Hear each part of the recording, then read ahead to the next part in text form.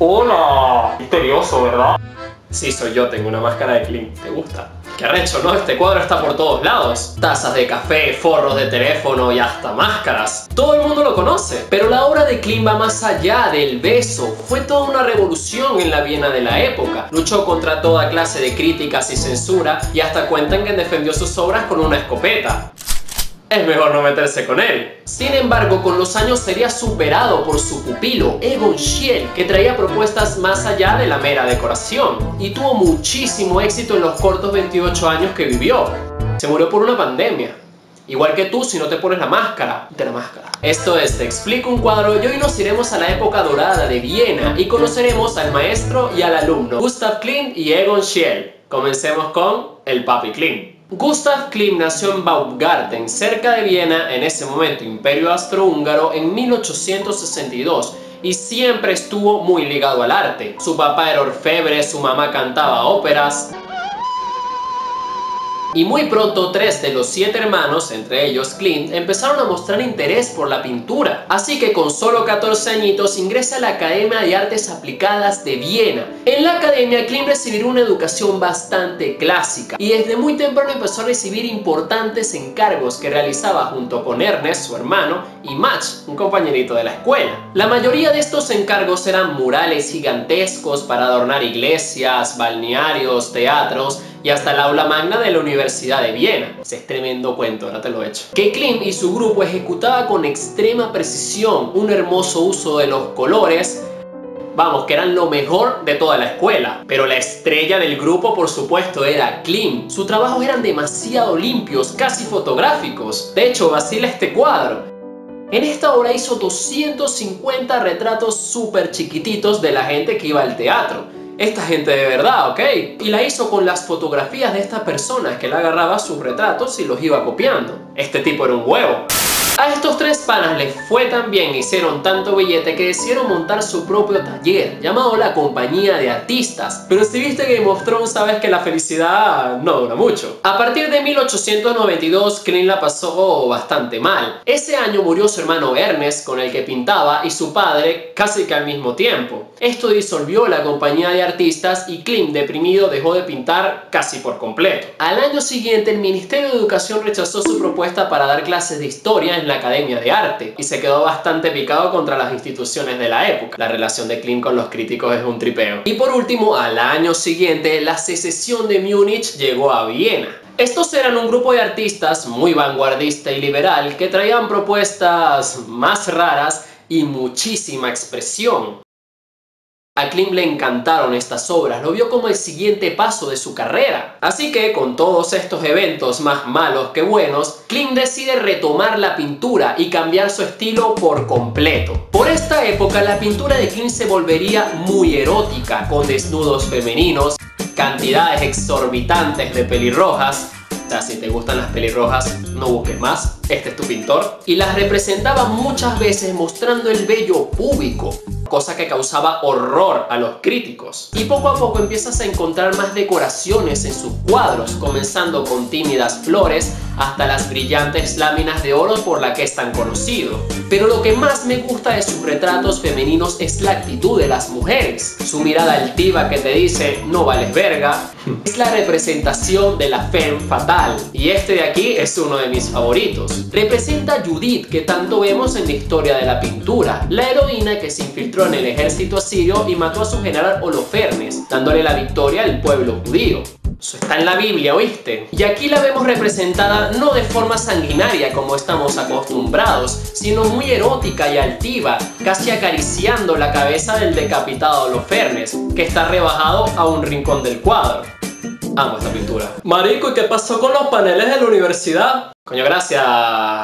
Tú. Cuando Klimt dejó de pintar por todos los peos que tuvo, la Universidad de Viena ya le había encargado a Match, el otro pintor, cuatro enormes paneles para decorar el aula magna de dicha universidad, que representarían cuatro grandes casas de estudio, teología, filosofía, medicina y jurisprudencia. Pues resulta que dijeron tipo, ok Match, tú eres fino, nos gustas, pero coño, queremos a la estrella, queremos a Klimt. Y le jalaron, le dijeron, Klimt, llégate, ¿qué tal? Para que participes, y él aceptó pero lo que hizo no se lo esperaba a nadie. Klimt se encargó de los tres últimos temas. En medicina, representó a Igeia, la hija de Esculapio, a lo fen fatal, como a él le gustaba, pero junto a ella representó a la muerte, impregnando de fatalismo a la obra.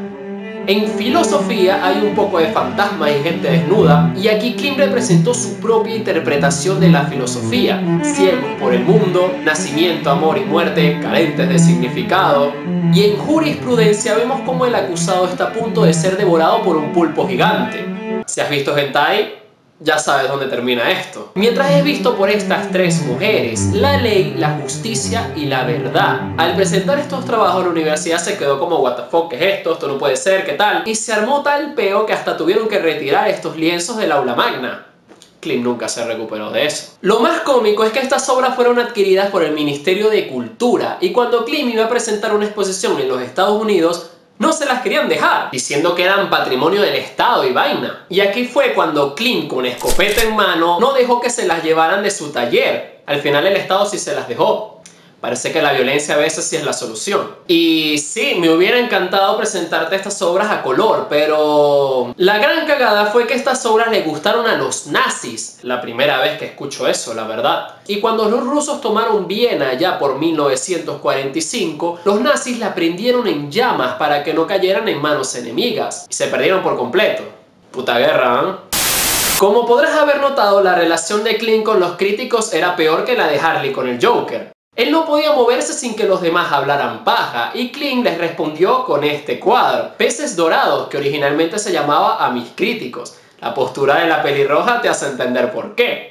Y es que esa sociedad artística tan conservadora era dominada por un pequeño grupo llamado la Casa de los Artistas, que tenían monopolizadas todas las exposiciones en Viena. Algo así como lo que les pasó a los impresionistas en Francia, ¿te acuerdas? Así que Klimt, tan rebelde como era, no se iba a calar esa vaina y fundó su propia secesión, como la de Múnich, con un claro objetivo, promover el arte nuevo y liberal, así como también el Stilkunst, una especie de arte nouveau vienés, siendo Klimt por supuesto el presidente de la secesión y su mayor representante. Y las ventas fueron tan buenas que hasta decidieron fundar su propio edificio de exposiciones, el pabellón de la secesión, con una inscripción que resume bastante bien al grupo, a cada época su arte, al arte su libertad. Qué bonito. Este edificio era el corazón del grupo y ahí se llevó a cabo un evento que a mí me hubiera encantado asistir. Por cierto, ¿te gusta Beethoven? En 1902 la secesión organizó un evento dedicado a este compositor, donde se expondría esta estatua de Beethoven, muy enaltecido y apoteósico, realizada por Max Klinger, un artista alemán. Para este evento también se tocaría la novena sinfonía de Beethoven, habría pasapalos, y Klim se encargó de la decoración del lugar. Pues Klim se lanzó nada menos que un friso, es decir, pintó las tres paredes superiores con tres grandes temas, presentando su propia interpretación de la novena sinfonía de Beethoven. Estas se leen de izquierda a derecha. En el primer panel encontramos el anhelo de la felicidad, donde vemos unas figuras arrodilladas depositando su esperanza en este caballero dorado, que va a emprender su camino a la felicidad a través del arte. Junto a él están la compasión y la ambición que lo bendicen antes de emprender su camino. En el panel central encontramos los enemigos de este caballero, las fuerzas del mal, en el centro bien grande vemos a Dios Tifón, representado por ese mono sádico. Tifón, según la mitología, tiene unas alas gigantescas y serpientes en las piernas, muy acertado con la versión de Clint. Tifón, por supuesto, no está solo. A su izquierda se encuentran sus tres hijas, las Gorgonas, Medusa, Esteno y Uriale, que a pesar de ser muy sexys también son bastante peligrosas. Una vez más, la fe fatal en la obra de Klimt. Sobre ellas, el pintor representa la enfermedad, la locura y la muerte, así como también su visión de las enfermedades venéreas, cuales le daban bastante miedo ya que era un gozón. Si Klimt era a la derecha de Tifón nos encontramos la lujuria, la pelirroja por supuesto, cual más, la impudicia y la incontinencia. La incontinencia sí no es tan atractiva, ¿verdad? Todas estas mujeres y el mono gigante son las fuerzas del mal, la que le dan el nombre a este panel. Y esa botada que ves por ahí es la aflicción, que representan aquellos que son alcanzados por estas fuerzas malignas. Arrecho, ¿verdad? Pero por suerte, todo salió bien. Nuestro caballero dorado llegó a la felicidad. En el último panel se representa la Oda a la Alegría, el cuarto movimiento de la Sinfonía de Beethoven. En él todo es dorado y alegre, hay un coro y un beso.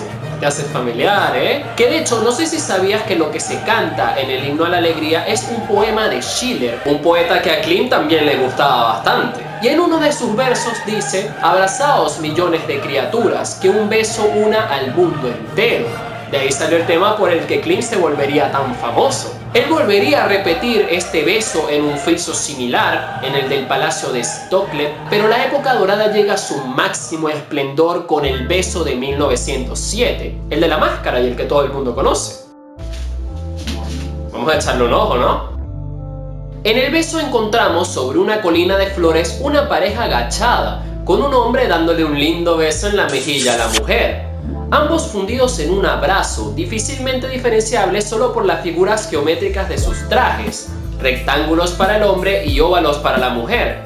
Se cree que estos diseños fueron inspirados en los mosaicos de Ravenna que Klimt pudo haber visto en Italia.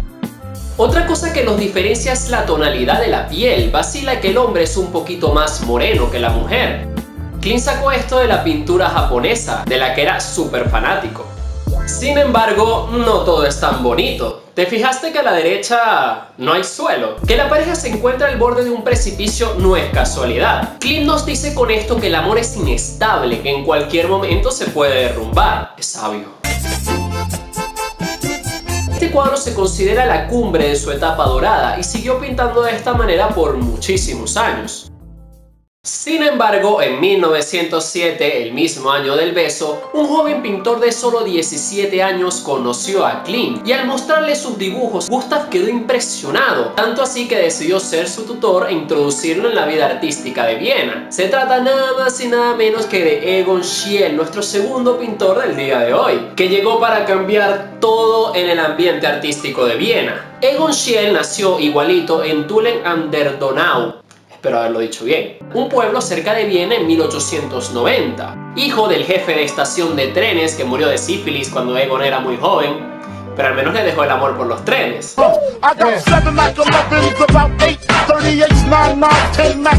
Al igual que Klimt, Shelley mostró talento para la pintura desde muy joven y vacila los dibujos que ya hacía a los 16.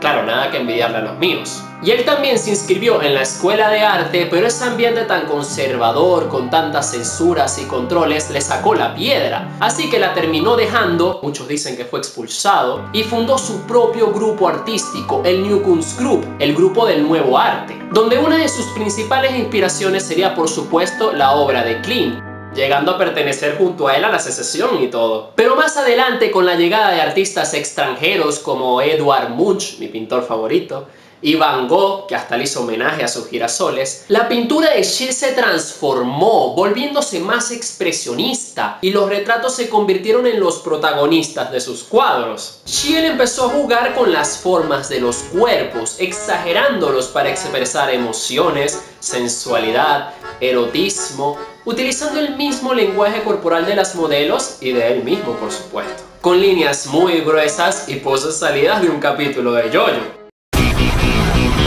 Su obsesión por los cuerpos llegaba a tal punto de que dejaba de dibujar los elementos de su alrededor. Muchos dibujos solo cobran sentido cuando los imaginamos, como este que está aquí llamado el violonchelista, que cuando te imaginas el cello ya se entiende la postura, ¿verdad? Y también pasa con este, un retrato frente al espejo, donde no hay espejo, o este de una mujer sentada. Schiele, como buen expresionista, le gustaba aplicar colores extraños en los cuerpos, como verde o amarillo, y resaltaba con rojo las partes que él consideraba sexuales. No, y si la gente creía que Klim era pornográfico, no veas la obra de Schiele. Hay veces que se pasa, ¿verdad? No si hasta para nosotros 100 años después sigue siendo así. Vacila que en el 2018 el Reino Unido y Alemania prohibieron la exhibición de carteles publicitarios en la calle de una exposición de Shell, alegando que era muy pornográfico. El museo censuró estas propagandas poniendo un mensaje de 100 años después sigue siendo demasiado atrevido. Y es que a él le encantaba dibujar a todos desnudos, a él mismo, a su hermana. Y hasta menores de edad, que más de un peo se formó por eso. Ya vas a ver más adelante. Pero la pintura de Schiele va más allá de lo sexual. Las figuras tan extremadamente delgadas, con poses antinaturales, ojos desorbitados y manos deformes, se retuercen, ya no sabes si de placer o de dolor, siempre buscando la mayor cantidad de expresión, con un estilo que puedes reconocer en cualquier lugar. Y eso es algo que me encanta de la obra de Schiel, su trabajo es muy agresivo, muy impactante, tiene una carga sexual demasiado arrecha y te hace cuestionar hasta qué punto estás cómodo viendo eso, cuando te va a salir lo moralista y vas a decir, no, esto está muy mal. Y aquí te voy a hacer una pregunta muy interesante. ¿El arte puede ser pornográfico? Y si es así, ¿hasta qué punto? ¿Este pan es un artista? Déjame en los comentarios tu opinión. Bueno, sigamos con la historia. En 1911, Shelley conocería al amor de su vida, después de su hermana, por supuesto. Valerie Neusil, Wally para los amigos. Una modelo de 17 años que trabajaba con Clint. Y ya sabes qué significa eso, ¿no? Wally le sirvió de modelo para incontables cuadros y dibujos, y la verdad que hacían muy bonita pareja. Míralos aquí que cuchis, ¿no? Si viste la película sobre Shiel, sabes a qué me refiero. Y si no, déjame tu correo en los comentarios y yo te paso el link.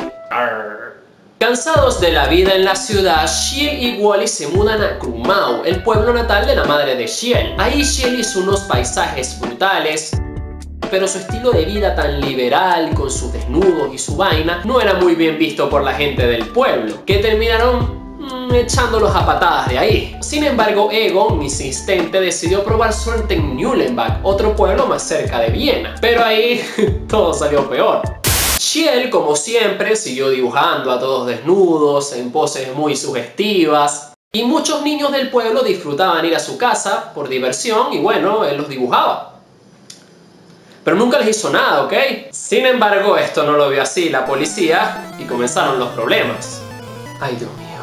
Resulta que una chamita de 13 años, un año menos de la edad legal, así la que la edad mínima para tener relaciones en ese momento eran los 14 años, échale bolas, se escapó de casa de sus padres y se fue junto a Wally y Shiel a Viena, donde pasaron la noche en un hotel, obviamente no pasó nada, y al llegar al pueblo Shiel estaba pintando, tranquilo, Sheleando. gracias, gracias, gracias, gracias. Cuando de repente, ¡pum! Demanda. Los padres de la carajita denunciaron a Shiel por secuestro y corrupción de menores. Shiel fue detenido durante tres semanas cuando por fin una prueba de virginidad levantó los cargos. Pero igualito fue condenado a tres días más de prisión y quemaron uno de sus dibujos en su cara. Pero incluso tras las rejas no dejó de pintar. Ahí hizo dibujos de su celda, autorretratos, y lo mal que la pasaba con el pelo corto. Una vez libre y de vuelta al ruedo, la feliz pareja volvió a Viena, donde igualito Schiel seguía siendo un éxito, le encargaban retratos por coñazo, no se armó ningún escándalo. Claro, con la edad mínima en 14 años.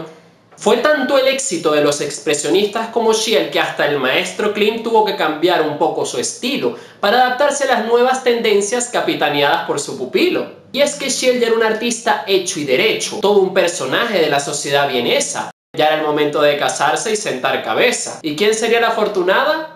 No, no fue Wally. Shell decidió casarse con Edith Harms, una jeva con estatus, mejor vista por la sociedad, y no la pobre Wally. Sin embargo, Shell quiso quedar bien con ella, tipo, bueno, vamos a pasar las vacaciones juntos y tal, pero Wally no se conformó con eso y lo mandó para el carajo como tiene que ser. Y de aquí nace uno de sus cuadros más famosos y el que le da nombre a la película, La muerte y la doncella, donde vemos a Wally y Egon fundidos en un abrazo de despedida.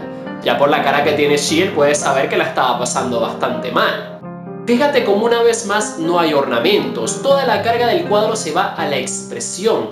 Bastante triste, ¿verdad? Al final este cuadro resultó ser bastante profético. Wally al final se hizo enfermera y decidió apuntarse a la Cruz Roja para ayudar durante la Primera Guerra Mundial, que ya estaba a la vuelta de la esquina, muriendo en 1917 de escarlatina en un hospital militar de Dalmacia, con tan solo 23 añitos. Pobre Wally. Pero la guerra mundial tampoco pasó desapercibida para Schiele. A los tres días después de casarse, Egon fue reclutado por el ejército, pero por suerte y por su pésima forma física, le dieron un cargo muy oficinista en Praga, escoltando prisioneros rusos, escribiendo cartas, y de esta forma pudo seguir pintando. En esa época retrataría a miembros militares, los mismos prisioneros que escoltaba, y ya no sería Wally la que aparecería en sus cuadros, sino Edith, su esposa, con un ambiente mucho más familiar.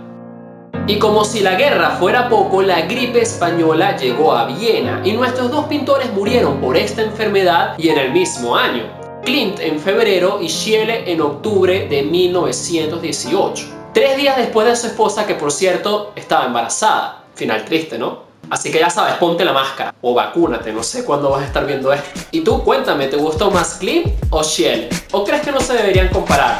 Déjame en los comentarios, muchas gracias por ver este video, espero que lo hayas disfrutado, que hayas aprendido algo, ya sabes, me puedes apoyar comentando, dando like, suscríbete coño. Muchas gracias de nuevo, espero verte muy pronto. Tchau!